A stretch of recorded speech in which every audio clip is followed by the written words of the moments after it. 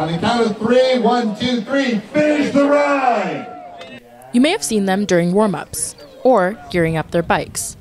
Last week, bikers and runners teamed up at the Finish the Ride and Finish the Run event, a movement that came from something greater.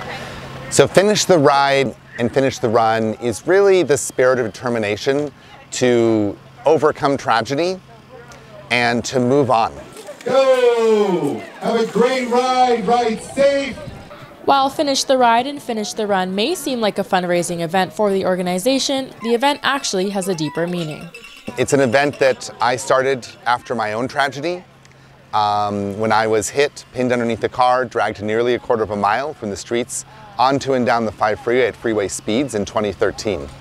Um, my right leg was ripped off in about 20 pounds of flesh in two minutes. And, and after that, I got back on the bicycle, but I also started to understand the issues of traffic violence and how deadly the roads are across Southern California for cyclists, for pedestrians, for drivers.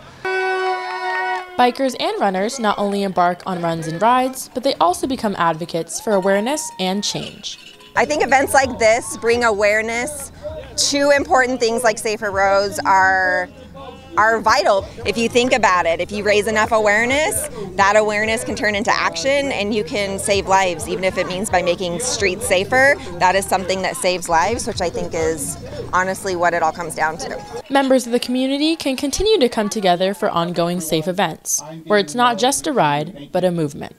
For Canyons News, I'm Shalisa Krolpun.